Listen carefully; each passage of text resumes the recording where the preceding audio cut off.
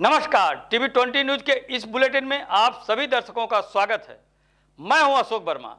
देश व प्रदेश की तमाम खबरें देखने के बने रहिए हमारे साथ। अब नज़र डालते हैं खबरों की तरफ़। ये कन्नौज के हमारे अपने लोग इस बार न केवल जिताने जा रहे हैं, बल्कि रिकॉर्ड मतों से ऐतिहासिक वोट देकर से देश की बड़ी जीतों में शामिल होने जा रहे हैं। वैसे तो चोरी में झगड़ा तभी होता है जब बंटवारा ठीक से नहीं होता है। चोरों में झगड़ा तभी होता है जब चोरी की चीज़ का बंटवारा ठीक ना हो। और हमें तो वो दिन भी याद आ रहे हैं जो लोग कहते थे, बादलों की वजह से रडार से दिखाई नहीं देता है। और नाले की पाइप से गैस निकाल करके चाय बनाई जा सकती है। आज वही लोग और उनके सहयोगी लोग कह रहे हैं कि जो वैक्सीन निकाल ली है, जो वैक्सीन लगवाई है जिनके पास ऐसा ज्ञान है तो उन पे ये भी तो ज्ञान होगा कि वैक्सीन जो लग गई है, वो वैक्सीन कैसे निकाली जाएगी। 2024 का चुनाव अंतिम चुनाव है। भारतीय जनता पार्टी अगर गलती से जीत गई तो ये संविधान को खत्म करेंगे, आरक्षण को खत्म करेंगे, चुनाव को खत्म करेंगे। अपने वोट को बचाने के लिए इस बार वोट कीजिए और बीजेपी की जमानत जब्त कराने का काम कीजिए। इतनी नफरत है भाजपा के मन में। इतनी नफरत।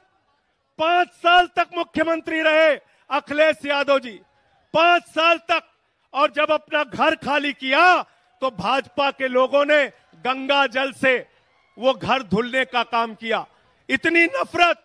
अभी कुछ दिन पहले कन्नौज के अंदर अखिलेश यादव जी एक मंदिर में चले गए। उस मंदिर को गंगा जल से धुलने का काम किया। इतना अपमान करते हो आप, इतनी बेजती करते हो आप, इतनी घृणा है आपके मन में, पिछड़ों के प्रति, दलितों के प्रति। मैं आप लोगों से निवेदन करने के आया हूँ, जो अखिलेश यादव का अपमान हुआ, अपने वोट की ताकत से उसका बदला ले लेना। मैं कहता हूँ कि या तो कन्नौज में गूंजेगी अखिलेश की गूंज, नहीं तो सियारे की टाप बाजेगी।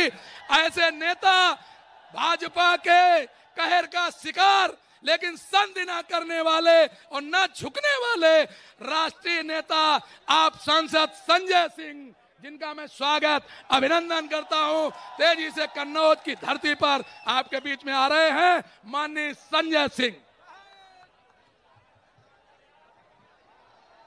मंच पर आसीन समाजवादी पार्टी के राष्ट्रीय अध्यक्ष, उत्तर प्रदेश के पूर्व मुख्यमंत्री और जिनके समर्थन में इतनी बड़ी तादाद में आप लोग इकट्ठा हुए हैं, माननीय अखिलेश यादव जी, मंच पर आसीन कांग्रेस पार्टी के पूर्व अध्यक्ष, लोकसभा के सांसद, जिन्होंने चार हज़ार किलोमीटर की भारत जोड़ो यात्रा निकालकर लोगों को जगाने का काम किया, राहुल गांधी जी, आदरणीय प्रमोद तिवारी जी समाजवादी पार्टी के समस्त नेता, कांग्रेस पार्टी के नेतागण, आम आदमी पार्टी के नेतागण, आप सबका हृदय की गहराइयों से अभिनंदन करता हूँ कि इतनी बड़ी तादाद में मौजूद होकर आपने बताने का काम किया है कि अखिलेश यादव जी कन्नौज से बहुत बड़ी जीत हासिल करने जा रहे हैं, बहुत बड़ी जीत।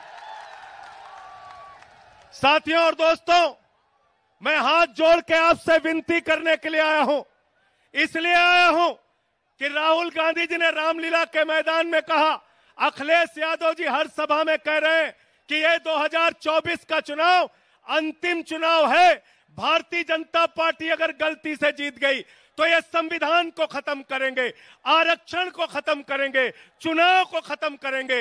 अपने वोट को बचाने के लिए इस बार वोट कीजिए और बीजेपी की जमानत जब्त कराने का काम कीजिए। और जब मैं कह रहा हूँ कि आरक्षण खत्म करेंगे तो इस बात के आधार पर कह रहा हूँ कि भागवत जी ने कहा था, आरक्षण खत्म होना चाहिए। मनमोहन वैद्य आरएसएस के नेता कहते हैं, आरक्षण खत्म होना चाहिए। उन्नीस सौ नवासी में भारतीय जनता पार्टी ने आरक्षण का विरोध किया था, जब ओबीसी का आरक्षण लागू हुआ था। ये लोग संविधान खत्म करना चाहते हैं। लल्लू सिंह कहते हैं, अयोध्या के प्रत्याशी संविधान खत्म करो।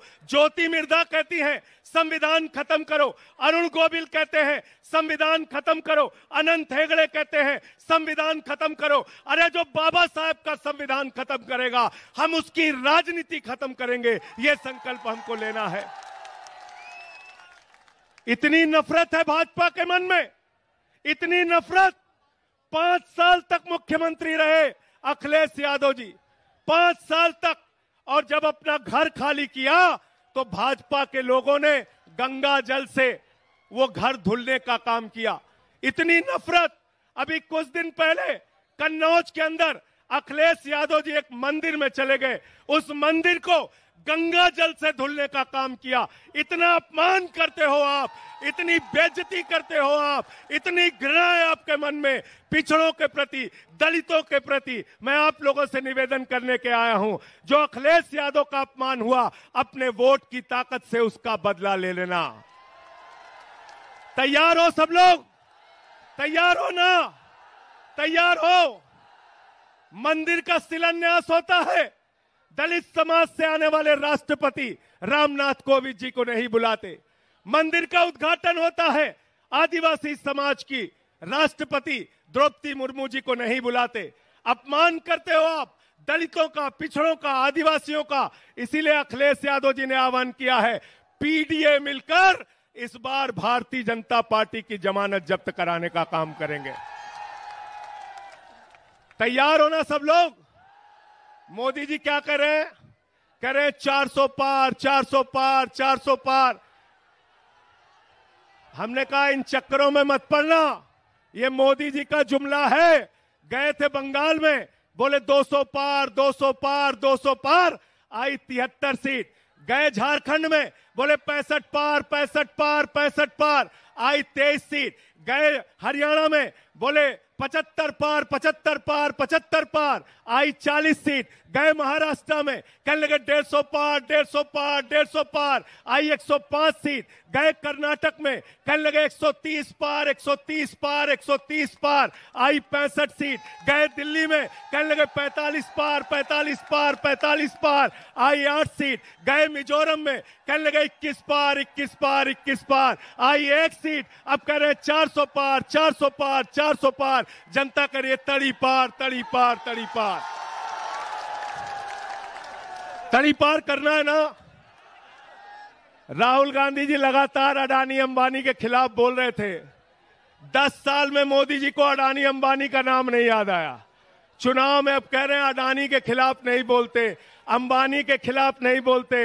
अरे मोदी जी, अगर आपको टेंपू का नंबर मालूम है तो ईडी, सीबीआई भेजो अडानी, अंबानी को गिरफ़्तार करो।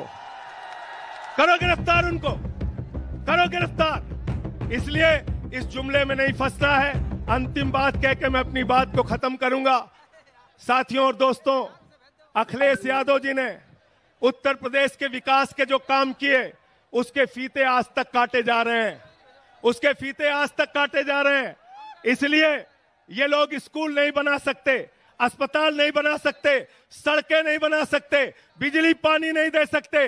मोदी जी आए थे कोरोना के टाइम में उन्होंने कहा, भाइयों और बहनों गाँव गाँव में कब्रिस्तान है तो शमशान होना चाहिए कि नहीं होना चाहिए? ये शमशान बनाने वाले लोग हैं, ये आपके बच्चों को स्कूल, अस्पताल नहीं दे सकते। हमारे मुखिया, अरविंद केजरीवाल को जेल में डाल दिया, मनीष सिसोदिया को जेल में डाल दिया, सत्येन जैन को जेल में डाल दिया, मुझे छह महीने जेल में रखा, छह महीने नहीं, पूरी ज़िंदगी जेल में रखोगे, तब भी तुमसे लड़ेंगे और जीतेंगे। जय हिंद इंकलाब जिंदाबाद, समाजवाद जिंदाबाद।